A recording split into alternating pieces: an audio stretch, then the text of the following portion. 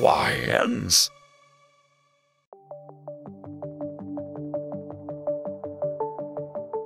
안녕하세요. 와이언스입니다. 오늘은 화학과 과학의 신비한 세계로 떠나볼 시간입니다. 이번 영상에서는 리트머스 지시약의 흥미로운 역사와 다양한 활용 분야를 살펴보겠습니다.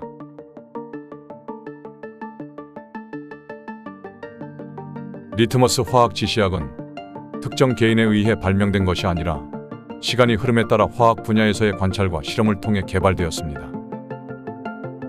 이러한 화학 지시약은 주로 이끼류에서 나온 색깔 변화 특성을 활용하여 만들어졌습니다. 그래서 리트머스 화학 지시약의 정확한 발명은 특정 발명가에게 돌려지지 않고 시간이 지나며 화학 분야에서의 누적된 관찰과 개발의 결과물입니다.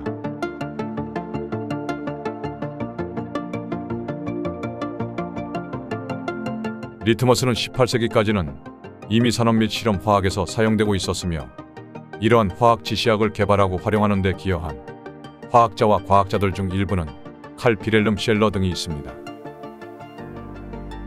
그래서 리트머스 화학 지시약의 발명은 특정한 개인에게 돌려지지 않고 시간이 지남에 따라 화학 분야에서의 관찰과 실험을 통해 발전해 온 것입니다.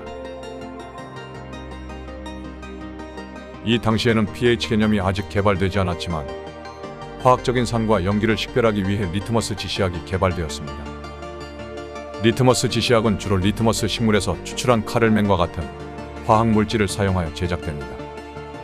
이러한 화학 물질은 미세한 지각 또는 종이 표면에 처리되어 산성과 알칼리성을 판별하는 역할을 합니다. 리트머스 지시약은 수많은 분야에서 활용되고 있습니다. 여기 몇 가지 주요 활용 분야를 살펴보겠습니다. 화학 실험 리트머스 지시약은 화학 실험에서 산성과 염기성 용액을 빠르게 식별하고 pH를 측정하는 데 필수적입니다. 실험 결과를 신속하게 확인할 수 있어 연구자들에게 큰 도움이 됩니다. 수질 분석 물의 pH는 수질 품질을 평가하는 데 중요합니다. 리트머스 지시약은 물 환경에서 pH를 측정하고 모니터링하는 데 사용되며 수질 과학자들에게 높은 가치를 제공합니다. 의학 및 생물학 연구 생물학 연구에서는 pH 값을 조절하고 측정하는데 리트머스 지시약이 사용됩니다. 세포 및 조직의 환경을 제어하는 데 큰 도움을 줍니다. 식품 산업 식품 제조에서는 제품의 산도와 염기도를 조절하고 품질을 관리하기 위해 리트머스 지시약을 활용합니다.